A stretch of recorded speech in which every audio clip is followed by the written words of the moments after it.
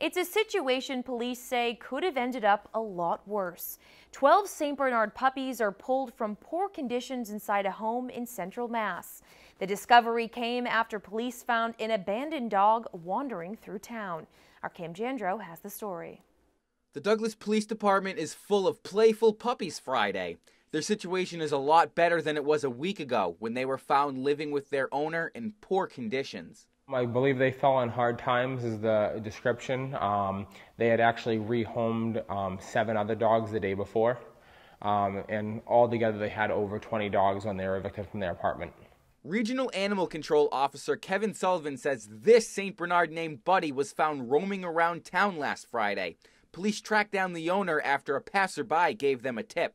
We were able to locate the person that had dumped the dog.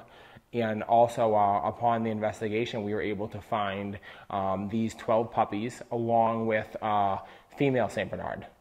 The owner signed over the 12 puppies, but now faces animal cruelty charges. Police say he abandoned Buddy in the center of town. Patrolman Tony Yanino helped rescue the puppies. At only five weeks old, he fears what could have happened to them. I don't know how much, uh, if they would have been healthy enough to even survive had we not found them and, and uh, taken them in.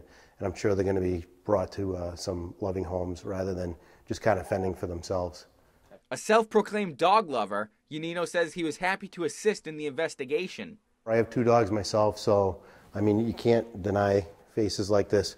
So I, I just, I actually love doing things like this. Sullivan says cases like this are not common, but if people are struggling with their pets, they can reach out to animal control. We have options.